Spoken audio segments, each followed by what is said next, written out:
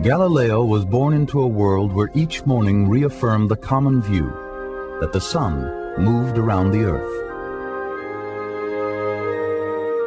This belief was confirmed as the sun appeared to pass overhead each day.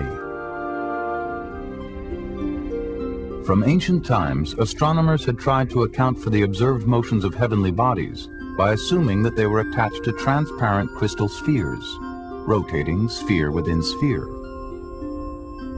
The Greek astronomer Ptolemy worked out the system in great detail to explain the motions of the sun, the moon, the stars, and the planets, all that could be seen with the naked eye. At the center of Ptolemy's intricate system sat the Earth, solid and unmoving. The Ptolemaic system was filled with ingenious geometrical devices. It made it possible for people to compute where the planets were to be, and this was useful, let us say, uh, for astrology.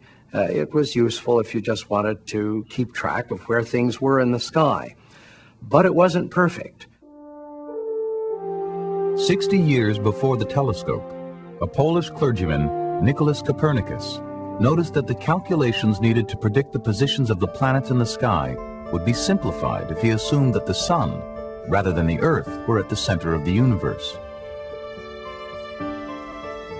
For decades after his book, most astronomers simply suspended judgment.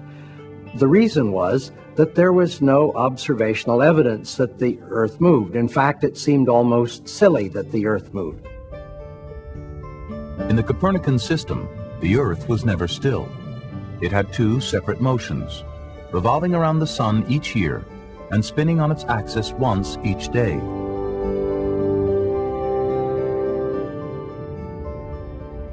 The thing that Copernicus suggested just made him really the laughing stock of Europe because he was saying here is the Earth is actually whizzing round at a huge speed, about seven or eight hundred miles an hour. That's just going round on its axis. And in addition, it's going round the sun at about 30 miles a second. I mean, they were saying this is just absolutely ridiculous. I mean, look at the ground. It's as solid as you can see.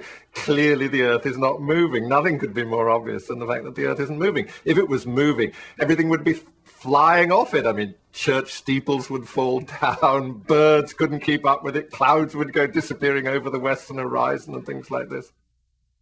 Galileo had read Copernicus and already suspected that the Copernican system was correct. But even with his telescope, he did not see a way of proving that the Earth moved around the Sun. For him, demonstration was the mark of science. For something to count as a scientific claim, it had to be demonstrated, it had to be conclusively shown to be the case. Anything short of that was called conjecture or opinion.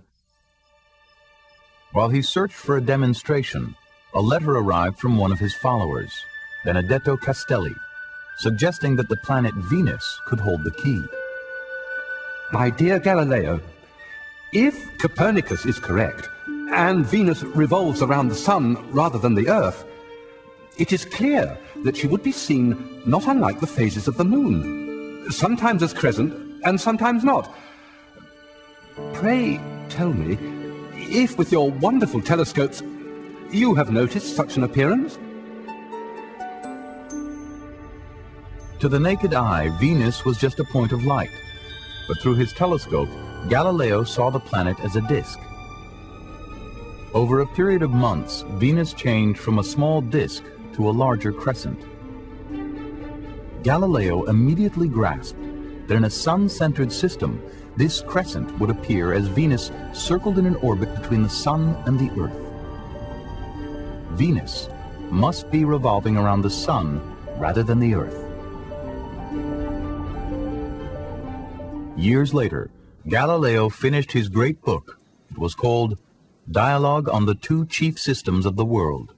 It is a debate about the world systems. Is the sun the center of the universe? Or is the earth the center of the universe? I always think that his dialogue on the two great world systems was the persuasive book that made it intellectually respectable to believe in a moving world a sun centered universe. It was the book that won the war.